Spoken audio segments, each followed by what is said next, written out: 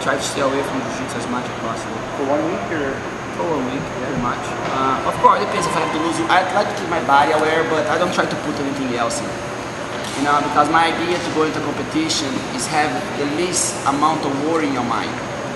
If you go and watch Marcelo's tapes and then you, you learning something when you actually don't have anything else to learn, you're not gonna you're not gonna get in better shape or you know you can talk about stuff, but don't try to like figure things out a week prior to a competition. It's kind of it's kind of wasted, you know, because you just bring more worries to your mind. You know, I, I like to think that the job is done a week prior to it. Everything after that is just keep your body stretched, body flexible.